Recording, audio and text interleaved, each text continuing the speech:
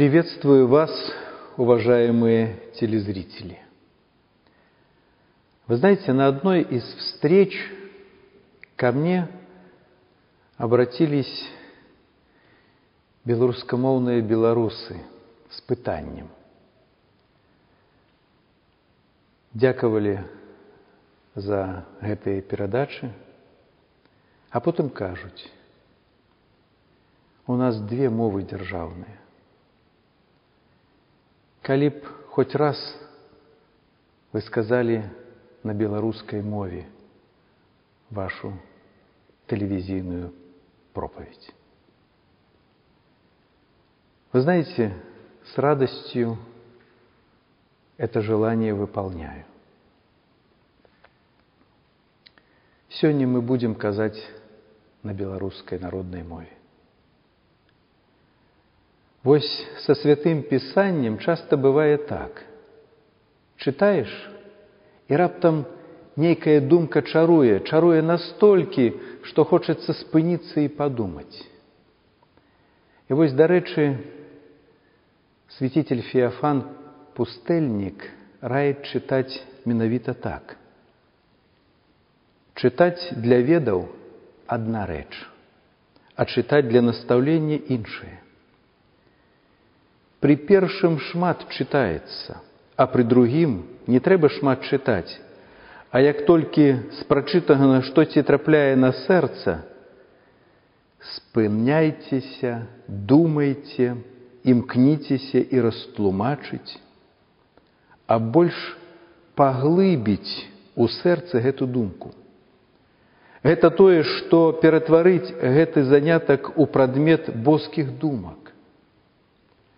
Так наталяць будзеце душу і расціць, а не насыпаць яе як мех.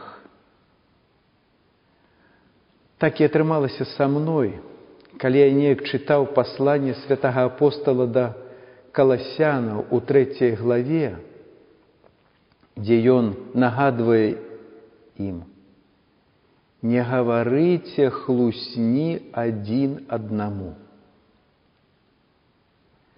Цікава, што апостал нават не спрабуе падтлумачыць сваім чытачам, што такое хлусня. Яго слухачы, напэўна, ведалі, што святое пісанне забараняе хлусню. Напрыклад, у кнізе левіт: не крадзіце, не хлусіце і не падманівайце адзін аднаго. Або у кнізе прымудрасці Иисуса Сирахова сына. Злая загана у чалавеке хлусня. Паводзіну хлюслівага чалавека несумленныя, і ганьба яго заўсёды з ім. І тым не менш, гэта ўменне непрыроджанае, а набытае. Прыглядзіцеся, Прыглядзіцеся да дзяцей, як цяжка даецца ім першая хлусня. Калі дзіця хоча схаваць якійсьці праступак і пачынае хлусіць, то спачатку запінаецца і дражыць. Нават язык яму не, падпараў... не падпарадкуецца, Яно чырванее і бляднее, а потым назіраючы за дарослымі, паступова прывыкае і хлусіць усё больш спакойна і ўпэўнена. Таму што ніхто асабліва і не асуджае. Вось я узгадаю адну павучальную размову вучня са сваім старцам. Сёння усе так робяць, сказаў малады манах старцу з нагоды нейкага звычая. Усе распуты, калі яны ў модзе, прымаюцца за дабрадзецель, адказваў старац. Але чаму ўсё ж такі людзі хлусяць?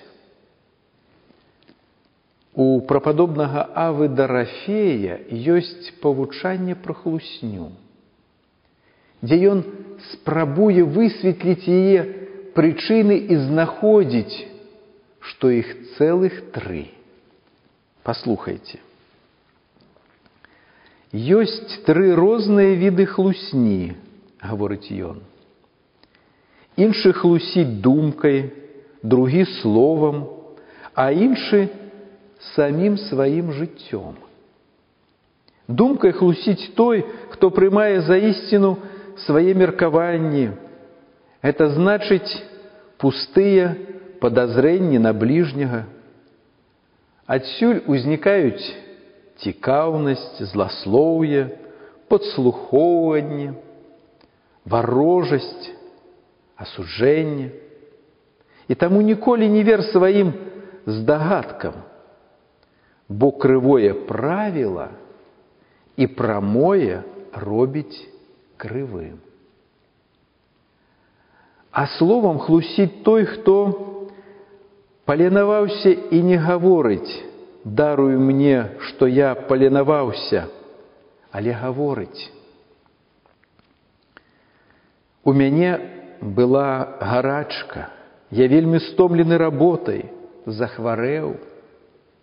І гаворыць дзесяць слухлівых слоў, каб не пагадзіцца, і калі ён не папікне сябе, то бесперапынна змяняе свае словы і спрачаецца. І ўвогуле чалавек хлусіць ці для таго, каб не папікнуць сябе, ці для таго, каб здзейнасць сваё жаданне, ці дзеля набыцця, і не перастае хітраваць, пакуль не здзейсніць свайго жадання. Таму чалавеку ніколі не вераць, хоць бы ён сказаў і праўду, і сама яго праўда падаецца сумніўнай.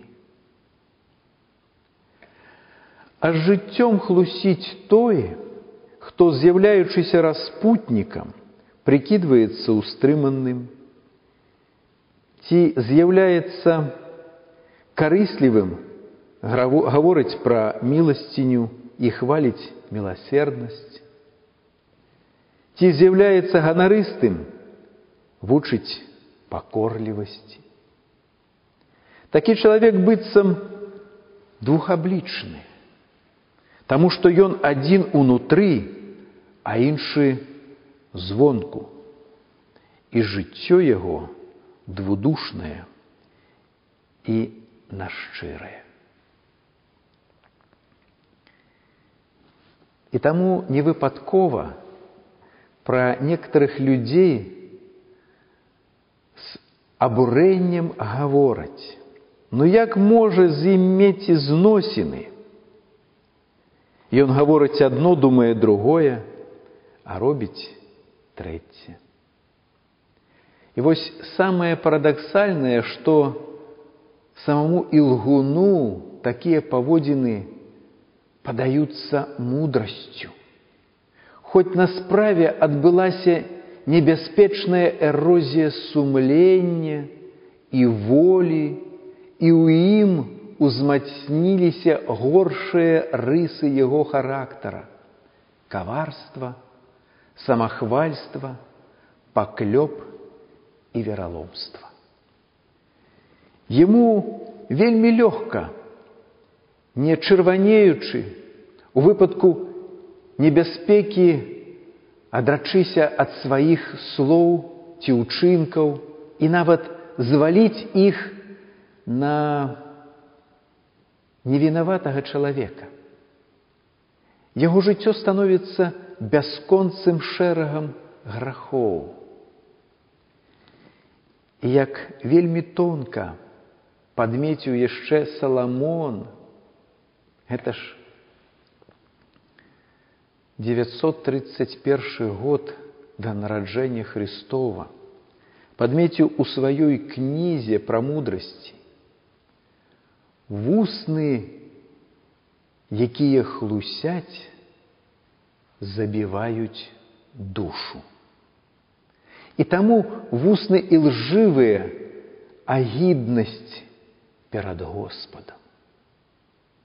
І ўсё ж такі старажытныя падвижнікі адрознівалі хлусню па ступені яе шкоднасці.